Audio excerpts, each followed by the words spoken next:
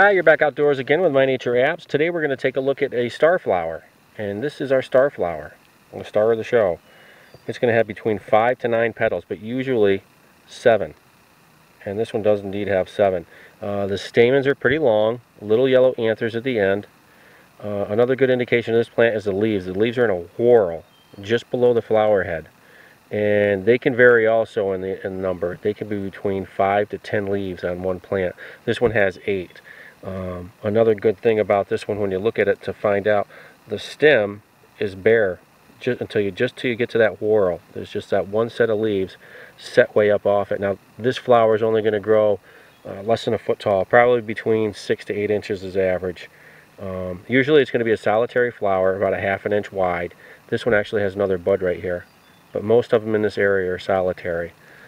So you see this flower with the whorl, uh, elliptic leaves, smooth margin, um, varying amounts of petals and leaves. You found the starflower. Thanks for joining us. Find us on the web, mynatureapps.com. Enjoy the woods.